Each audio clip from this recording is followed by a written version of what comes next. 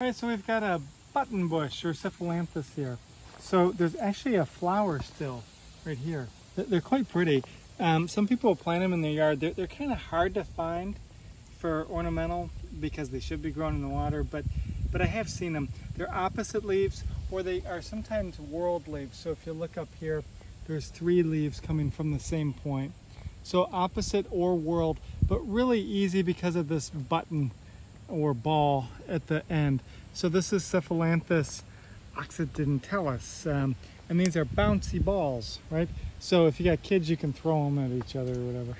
Um, and and those will stay, you know, for a while in the fall. So so they're kind of fun bouncy balls. They, they grow in the in the water like this.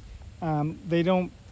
They would prefer to be a little drier, but but they can tolerate. They're one of the few shrubs that can grow in water. Um, and so it's a pretty good one, good wetland shrub.